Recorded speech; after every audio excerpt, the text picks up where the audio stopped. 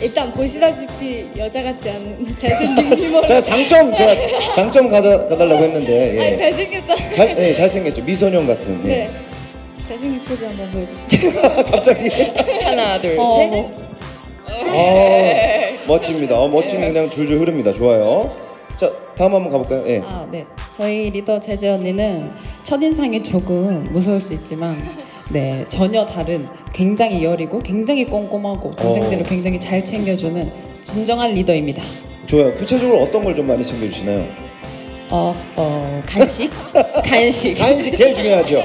아 좋아요. 예 간식도 많이 챙겨주시고 좋습니다. 또 예 계속해서 또 어, 저희 시연이는요 굉장히 여성스럽고 키도 크고 저희 팀에서 키가 제일 크고요. 아 그러네요. 예. 네, 그런 엉뚱한 매력이 있어서 저희 숙소에 있으면 굉장히 웃기려고 하는 모습이 안 웃긴데 그게 웃겨서 정말 재밌는 분위기를 만들어주는 친구입니다. 아, 팀 내 어떤 분위기 메이커 역할을 하고 네, 계시군요. 네, 네, 네, 네, 좋습니다. 네.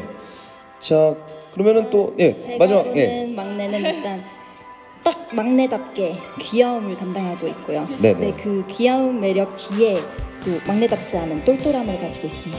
아 좋습니다.